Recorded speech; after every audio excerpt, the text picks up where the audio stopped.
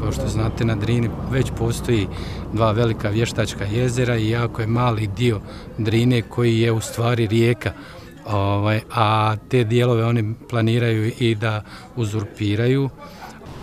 Pa mislim, pod broj jedan da treba provesti e, opsežnu javnu raspravu među stanovništvom koji živi u dolini rijeke Drine sa obje strane, naravno na, na oba dvije obale, ovaj, da se stanovništvo izjasni o tome. A, lako je vladama ovaj, planirati, projektovati, ovaj, a, a uglavnom ne razmišljaju o posljedicama iako oni stalno govore da, da postoje analize, studije, šta bi se desilo, kad bi se desilo.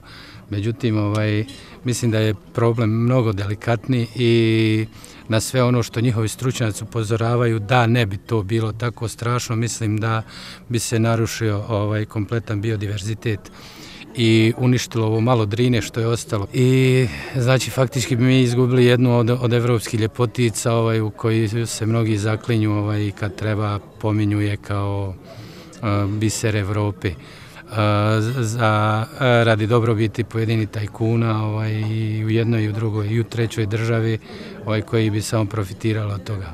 Šira zajednica, a, pogotovo stanovništvo koje živi uz obale rijeke i u zadnje vrijeme, kao što smo svjedoci, ovaj, nastoji razvijati turizam, sportski ribolov, ovaj, mislim da, da, bi, da bi sve to bilo ugroženo interesa radi ovaj tih pojedinaca koji bi profitirali ovaj proizvodnjom električne energije.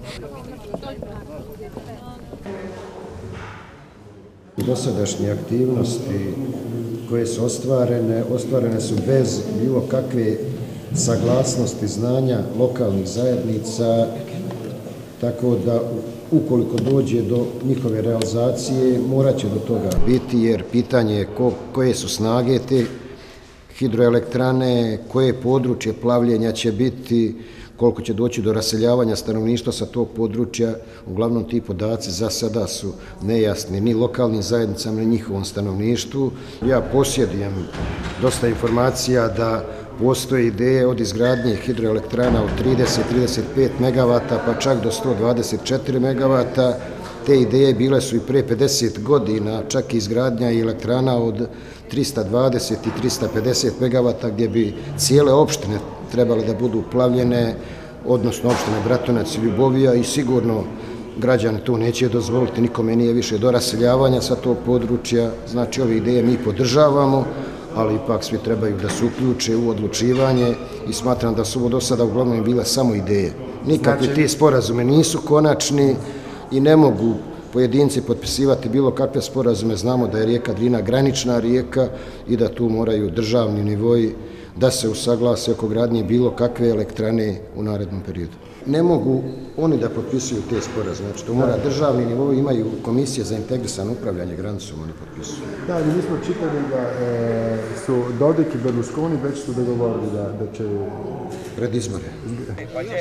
Na našem području gdje očekujemo mi da će biti minimalno dve izgrađene, jer mi gazdujemo sa 70 km Drine, naše ribarsko društvo i po nekim tim našim saznanjima imamo uh, saznanja da će uh, dve te hidrocentrale da se rade baš na tom našem području. I da vam kažem da je pozitivno mišljenje naroda. Ako su pitani protočni. Znači tu neće doći do velikog plavljenja zemljišta, do, do velikog plavljenja puteva, neće doći. I narod ima pozitivno mišljenje ako su protočni u pitanju.